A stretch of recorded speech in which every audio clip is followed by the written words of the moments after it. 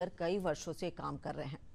दूरदर्शन से बातचीत में उन्होंने कहा कि भूकंप आने से पहले ही भूकंप का पता लगाने के लिए उन्होंने अर्थक्वेक फोरकास्ट डिवाइस नामक सॉफ्टवेयर तैयार किया है। हाल ही में नेपाल, अफ़गानिस्तान, पाकिस्तान और ताइवान में आए भूकंप को लेकर इस डिवाइस ने सटीक जानकारी दी है।